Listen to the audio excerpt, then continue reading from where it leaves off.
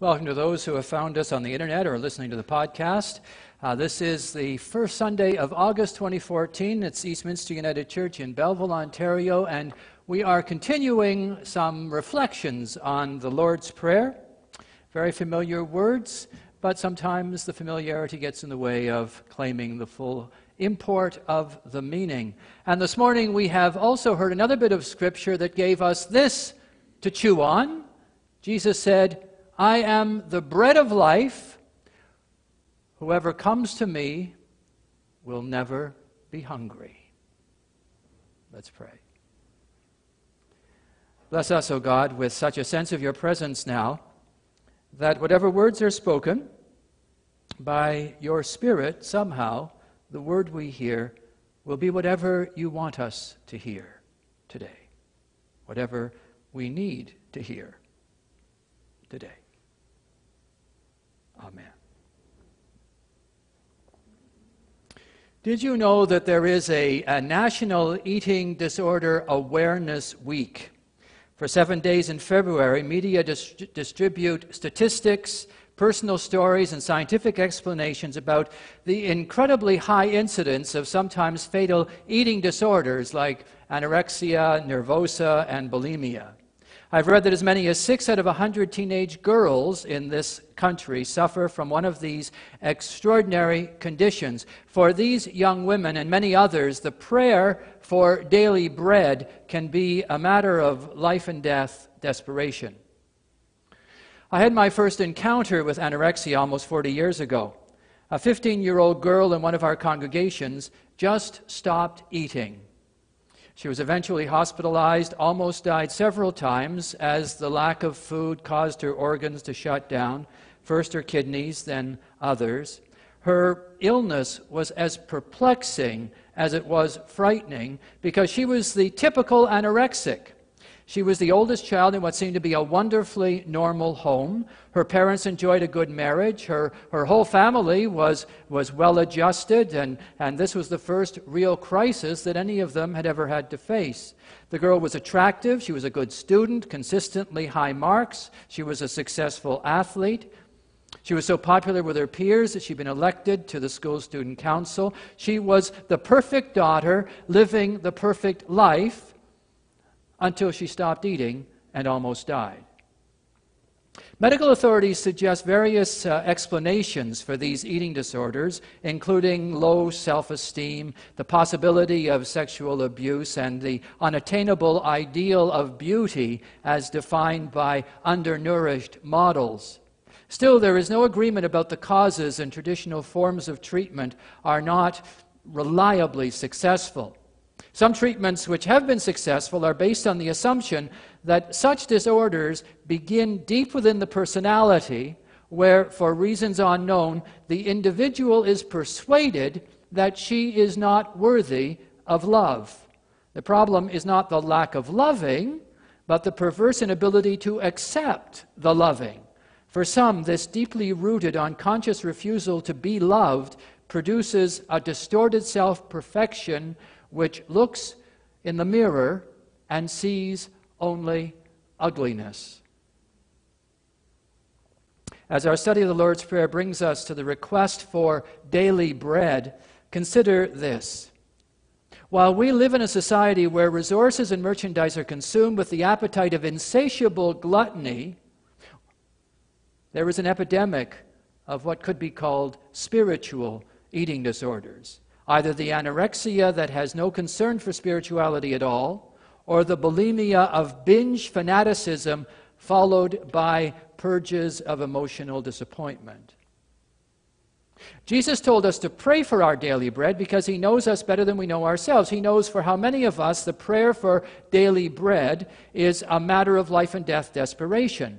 Whether we are physically or spiritually hungry, or if we are overstuffed let's think about what it means for us to pray for our daily bread.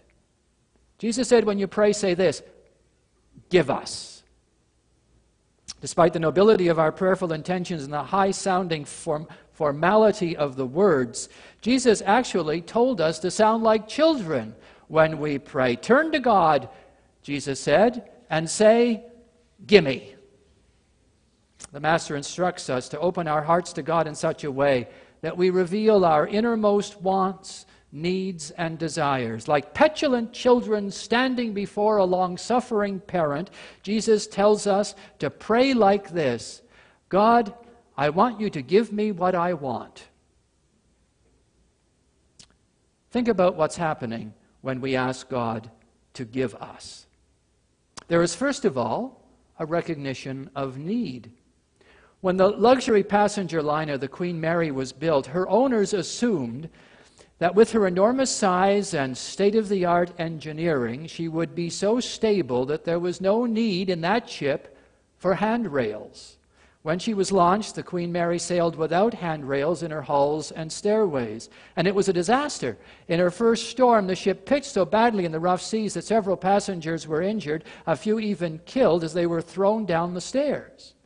After only a few weeks, the Queen Mary returned to the shipyards to be fitted with more than 30 kilometers of hand railing.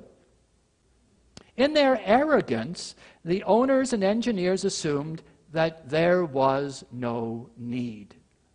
There's something about our makeup, we human beings, that makes us vulnerable to dangerous assumptions of self sufficiency. The more we're able to solve our problems, the more confident we are that we can handle anything. The more trials we survive, the more easily we assume a false sense of security. We're like the chicken who runs out to meet the farmer every morning, and since the farmer always brings food, the chicken is convinced that the purpose of the farmer is to feed the chickens. The chicken becomes more and more confident, fearlessly taking for granted the benign intentions of the farmer until the morning when the hungry farmer shows up with an axe. Jesus understood the danger of taking things for granted. So he told us to get down on our knees before God and, like children, admit the needs which we ourselves cannot provide. When we say give us, we're not only recognizing our needs, we are acknowledging the giver. In an episode of the television series The Simpsons, the irrepressible Bart is asked to say grace. He says, Since we paid for all this stuff ourselves, thanks for nothing. Obviously, Bart does not understand the meaning of the Lord's Prayer.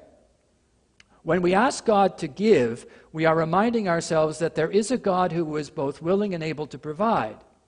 No matter how hard the circumstances of your life and how extraordinary the needs, no matter how loud may be the voices which testify to the absence of God, no matter how helpless you feel or alone you may be, if you believe what you're saying when you speak the Lord's Prayer, then you know that there is a God who is listening and caring and willing to give. If he knew the Lord's Prayer, what it teaches us about God, Bart Simpson's grace might sound more like this since I know the vastness of my need and the limits of my own ability. Thank you, God, for everything. Jesus said, Pray, give us this day. Jesus taught us to pray with a sense of anticipation and an expectation of immediacy. It reminds me of the story of Lazarus, and you know it well. When Jesus stood at the grave of the dead man's grieving sister Martha, he told her that Lazarus will live again. And Martha dismissed his words as kind, but not particularly helpful. Oh, she said, Oh, yeah, I know. I know, I know. Yeah, he will rise again in the last day. In other words, she assented to some future blessing that had very little to do with the pain that she was suffering there and then. But Jesus refused to be put off. He said, No, no, no. He said, I am the resurrection here and now, and I am the life, not someday, but this day. And then he ordered the grave to be opened so that Lazarus could live again immediately. When we say this day, we admit the practical timeliness of our needs, while at the same time we affirm the providential timeliness of God's helping presence in our lives. The Reverend Jim Eschenbrenner tells the story of a farmer who one year was especially proud of his corn. In the spring, he had carefully prepared the ground so that the soil was as close to perfect as he could make it. He did everything that he could to make it just right. And then he went out when the corn was as high as an elephant's eye and the picture of perfection. He went out with his John Deere combine. Beautiful day, everything running smoothly until he realized that something was missing. He couldn't hear the noise of the corn kernels filling the combine hopper. He stopped the equipment, climbed out of the cab, up the ladder to find to his utter amazement that the hopper was empty. When he checked the corn, he found stalk after stalk which had grown large, looked perfectly formed, but there were no kernels of corn. And when he told his friends that story in church the next Sunday, he said, I did everything I could, and the field looked perfect. But, he said, the harvest is in God's hands. Everything is in God's hands. There isn't a day goes by when we do not need the help of God. There isn't a moment when we are detached from the umbilical cord which by grace connects us with God. That's why Jesus taught us when we pray to say, This day to pray this day for the help of God, the healing of God, the guidance of God, the forgiveness of God, the consolation of God. Pray for what God alone can give this day and every day that we live. Even when things are going so well that we feel on top of the world, this is still the day when we need to pray. Give us this day our those of us who have any conscience at all should feel downright embarrassed when we pray for God to give us what we ask. Who do we think we are? What makes us think that we deserve anything, certainly anything else from God? Spiritually speaking, our credit ranking would make us make any collection agency drool. And yet, when Jesus taught us to pray, he told us to boldly ask for what is ours. According to the Master, we should pray with an expectation of entitlement. And this is a fundamental biblical principle that God gives according to entitlement rather than deserving. This principle has shaped the social policies of Canadian democracy for generations so that people receive the services of government not because they qualify, but because they are entitled by virtue of our citizenship. Therefore, there is no shame in receiving a pension check when you retire, or employment insurance if you lose your job, or social assistance when you're desperate, or health care when you need it. As the vagaries of politics and shifting sands of public policy threaten universal health care, public education, and the social safety net, remember this. So long as we pray for our daily bread, we will affirm as ordained by God that principle of entitlement which is called grace. Give us this day our daily there are among our neighbors those who like to accuse us of what they call hypocrisy. The allegation that the convictions we profess on Sunday do not always govern what we do the rest of the week. And few of us are not, at least sometimes, guilty as charged. There are times when our relationships, maybe with cranky neighbors or troublemakers at work, do not reflect the gospel teachings about love there are times when we make decisions without giving sufficient weight to the will of God. There are even times when we struggle to solve the problem or carry the burden or find our way as if God has left us alone. The problem, you know, it isn't hypocrisy, it's forgetfulness. That's why Jesus taught us when we pray to say daily. Every day we need to pray to God who is with us every day for the help we need every day for the problems we face every day. Peter Marshall, a well known preacher, he was the chaplain of the American Senate, and, and his uh, writings continue to have tremendous impact. He once offered this commentary on our need for daily spirituality. He said, If God does not enter your kitchen, there's something wrong with your kitchen. If you can't take God into your recreation, there's something wrong with your play. We all believe in the God of the heroic, he said. What we need most these days is the God of the humdrum, the commonplace, the everyday. The most successful treatments for anorexia nervosa are based in the assumption that the eating disorder originates in a deep, deeply subconscious inability to accept love. Typically, young anorexics and bulimics grow up in middle class, well adjusted families where there is no doubt that they are loved, but somehow they lose the ability to believe it. Lest we forget how much we are loved, we need to say the Lord's Prayer as often as we can and pray it daily to reinforce in our subconscious the conviction that God loves us enough to be with us in the ordinary, the humdrum, the commonplace. We are so loved that God cares about what's happening in our lives every day, daily. Give us this day our daily bread.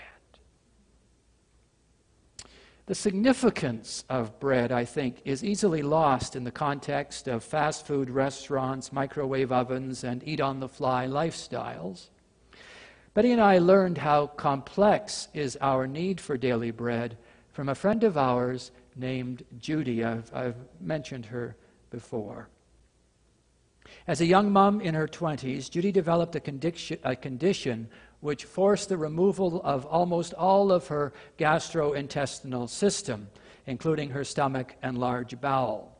In order to survive, Judy was one of the first people in Canada to receive a treatment called total parenteral nutrition, TPN, or heart feeding. A shunt was permanently placed in a vein near the heart so that a liquid food could enter her system intravenously. For the last 25 years of her life, Judy was not able to take any food by mouth. She lived on the bags of food which entered her body every night while she slept in a chair.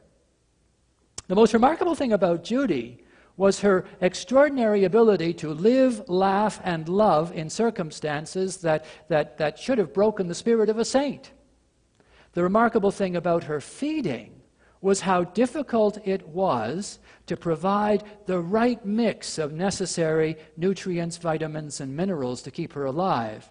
And at the time when she started, the only company in the world that produced the food was in Sweden and its ingredients had to be continually adjusted according to Judy's needs. If the balance of nutrients was wrong, she became weak or developed seizures or her hair fell out or any number of other things. Most of us who eat without thinking never know how complex is our need for daily bread. But God knows. God knows our need to be properly fed every day. That's why the Israelites starving in the desert were given manna, a bread that lay on the, like dew on the ground. And God knows we cannot live by bread alone, that we need more than manna, that even if our bodies thrive, our spirits can starve. And that's why Jesus said, I am the bread, the bread of life. And if you eat this bread, you will never be hungry. Judy would have died without the food that flowed through the tube into her body every night. And it makes you wonder how many of us are dying, spiritually at least, spiritually wasting away because, well, because we refuse to eat that bread of life. Whatever the cause, whether it is an anorexia that refuses to receive, or a bulimia that binges on popular spirituality but refuses to truly believe, God help us to mean it when we pray, Give us this day our daily bread. Amen.